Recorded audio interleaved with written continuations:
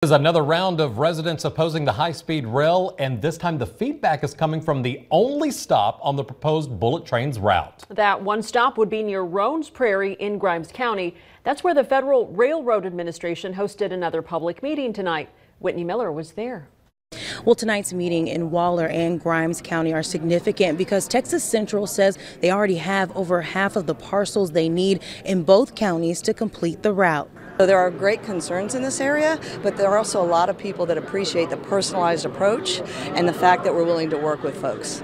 Tuesday night, Navasota Junior High was filled with Grimes County residents, many there to oppose the rail, and others came to ask questions. Joseph Resnicek is a rancher in the area and says while he's currently not affected by the train's route, he's got some concerns. There's almost too much information for people to digest. He also thinks the constant back and forth between residents for or against the train is starting to divide the community. And if you look at the map for the proposed rail line, it splits Grimes County in half.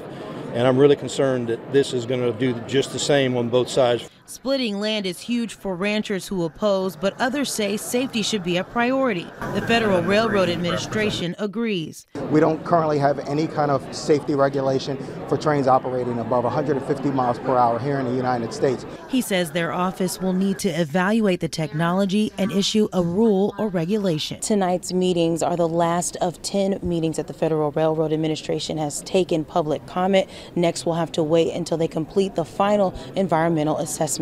In Grimes County, Whitney Miller, News 3. Whitney, thank you for that. Now, that final study should be released by the end of the year.